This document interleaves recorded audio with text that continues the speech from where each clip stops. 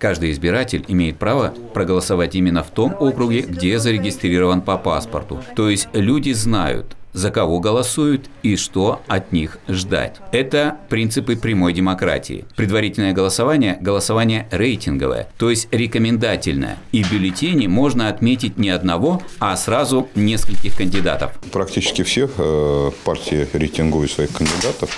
Это нормальная демократическая форма. Вот, э, Единая Россия это практикует уже не первый год. Нам самим интересно посмотреть, э, кто больше, пользуется больше популярностью среди вот наших список очень обширен, да? Вот вы Да. ждете обновления. Конечно, он у нас обновляется постоянно. Приходят молодые люди, достаточно много молодых людей. Голосование можно рассматривать и как исследование социальной проблематики и вовлеченность в нее самого населения. Для меня очень интересно будет э, не активность, а все-таки количество проголосовавших за того или иного кандидата. Сегодня очень важно это доверие людей к нашим кандидатам. Мне интересно будет, э, какие все-таки наши кандидаты от партии и просто э, граждане городского Крумачи пользуются больше популярностью и доверием среди нашего населения. Один из счетных участков расположился в девятой школе. Проблемы этого микрорайона хорошо известны, поэтому сам принцип серьезного отбора своих представителей в Совете депутатов считается здесь совсем не лишним. Наверное, правильно. Во-первых, э, тех, кто работал, оценить их работу, как они работали, и достойно ли выдвинуть во второй или в третий срок. Нам интересно так, чтобы в сентябре пришло как можно больше жителей для того, чтобы состоялись выборы и были выборы качественными. Я, во-первых, э, иду и поддержать главу Виктора Сергеевича Азарова. Раз. Вот. Его та команда, которая работала, надеюсь, в этом году будет работать. Во-вторых, я хочу сказать, у меня есть цели ну, не скажу, что такого корыстного плана, но ведь я работал 40 лет директором учебного заведения.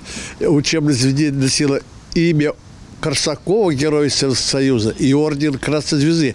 Но в связи с, с, с- приватизацией, или с приватизацией, с оптимизацией, все это дело сняли.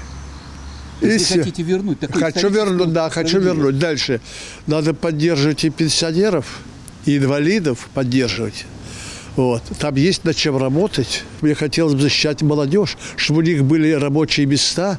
Оценка многолетней работы депутатов всегда публична, если есть что оценивать. Это в первую очередь влияет на перспективы дальнейшей работы Совета. Скажем, проектная политика партии «Единая Россия» всегда в центре внимания. Я считаю, что надо отстаивать ту политику, которая сложилась, потому что за последние годы очень много сделано, и по проектам «Единой России». По всем направлениям очень много сделано. Это и очистка и благоустройство реки Яузы, те проекты, которые по лесопарковым зонам, по паркам. То есть это очень хорошие проекты, это надо нарабатывать. А это счетный участок в 19-й школе микрорайона Пироговский. Одна из актуальных здесь проблем – недостаток учебных мест. Микрорайон быстро разрастается, не хватает детских садов и школ. Это первостепенная задача для будущих депутатов. насколько авторитетные люди будут выдвинуты от партии, потому что люди, которые имеют авторитет и которым прислушивается местное население, они, конечно, э, могут обеспечить больший охват и общение с местным населением, и более эффективно решать проблемы, если они об этих проблемах знают. А это должны быть люди, которые знают о проблемах, которые волнуют то население, с которым они работают. Потому здесь такие надежды на обязательный учет мнений людей, на тех, у кого есть свое мнение и свои кандидаты. Э, Знаю не всех, но уже за конкретного человека пришла голосовать. Конечно, кто-то считает, что его голос ни на что не влияет. Но практика показывает, что это не так. Ведь обращаться в органы местного самоуправления приходится нередко. И надо знать, кому обращаться, за кого проголосовал. Участие очень важно, потому что мы избираем э, людей, которые как бы относятся именно к нашему району и будут отвечать за наш район. А, Кандидатов отмечала по, скажем так, это такой мой выбор э, людей, в принципе, которых я наслышана, которых я как-то знаю и как-то, возможно, проявляли свою деятельность уже в нашем районе. Можно ставить э, сколько угодно галочек.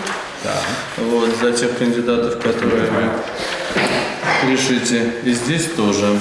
Вот какое должно быть представление вообще о работе депутата вот у претендентов, которые выдвигаются вот сейчас?